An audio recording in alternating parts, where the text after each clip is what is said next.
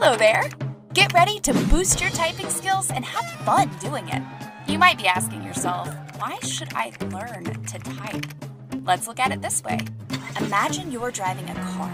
You're on a road trip with your friends and you still have a ways to go. Now, imagine that your car is equipped with bicycle tires. You probably wouldn't get very far, right? Think of typing as a way of putting the right tires on your car. When you learn how to do something the right way, you open the door to exciting possibilities.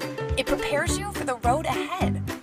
Also, did you know the virtual keyboard on your phone has the same layout as a traditional computer keyboard? That's right, they both have a QWERTY key layout. In other words, learning to type will improve your texting speed. No matter what age, typing is an important skill that makes you stand out. It's something we all need in this computerized world today. With practice and dedication, you'll make it far because you'll be typing like a pro. We're glad you're here and look forward to guiding you on this journey.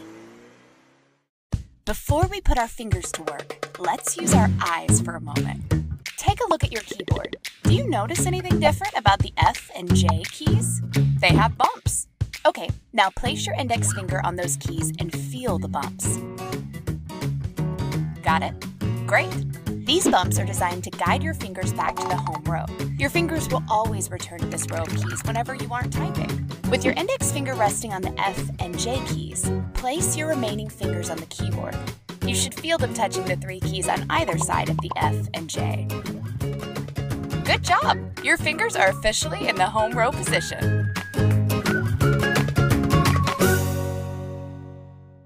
Don't worry, we didn't forget about your thumbs. Their job is to press the spacebar. Keep your thumbs resting just above the spacebar. Which thumb to use is up to you. But a good rule of thumb is to use the thumb on the hand you write with. That way, you don't accidentally hit the spacebar more than one time when you don't mean to. You may be tempted to look down at the keys while typing. That's normal. Looking down occasionally is okay in the beginning. As you practice more, try to keep your eyes on the screen and let your fingers work their magic. Now you know the home row. Let's take a minute to talk about posture. Proper posture at the keyboard not only keeps you from feeling tired, it can also prevent injuries that occur with repetitive movements. Oh, and guess what? It will increase your typing speed. Here are the steps you can follow to make this happen. Step 1. Adjust the height of your chair so that your arms are at a 90 degree angle when your fingers are on the keyboard, like this. Step 2. Place your feet flat on the floor. Your knees should be aligned with your hips. If you need to, always use a footstool. It's not cheating, I promise. Step 3. Place your keyboard slightly below the height of your elbows. That way, your wrist will remain straight whenever you are typing. It is important that you don't bend your wrist to the keyboard. Step 4. Protect your neck.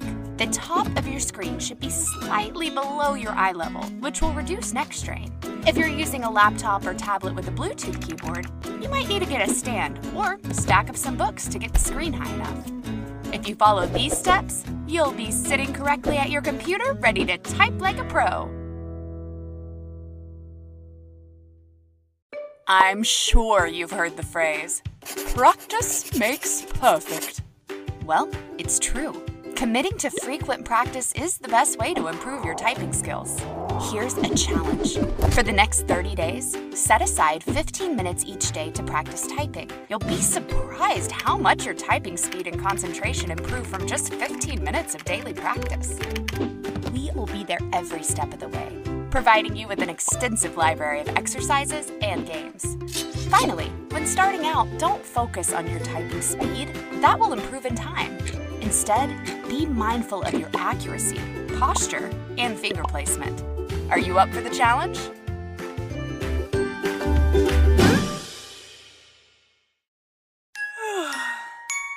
Feeling tired or sluggish at home? Sounds like you need a break. Whether you're working on a paper, browsing the web, or playing video games, taking frequent breaks is ideal for maintaining your health and productivity. It's important to respect teacher rules, but when working from home, at least once every hour, get up, do some stretches, have a glass of water, walk around. This will get your blood circulating and give your eyes a rest. You could also try the 20 20 rule. For every 20 minutes you spend on the computer, give yourself a 20 second break. Just as with typing practice, you should make frequent breaks a habit. Your body will thank you for it. The human body is an amazing thing. There's no shortage of what it can do when you put your mind to it. Believe it or not, you have special powers. It's only a matter of tapping into them. One of these special powers is unlocked after completing various tasks over and over. When you repeat the same mental or physical activity, your body learns how to complete these tasks with less brain power. This is called muscle memory. In other words, practice, practice, practice. It's the best way to improve muscle memory. For example, when you play a video game for the first time, you may not be very good at it. But as you keep playing it, your muscles fine tune themselves. Next thing you know, the game becomes effortless. New high score! Typing is another example of muscle memory in action. As you practice, your muscle memory powers will kick in, and your typing will start to feel automatic. You won't have to think about which key to press next because your fingers will know where to go.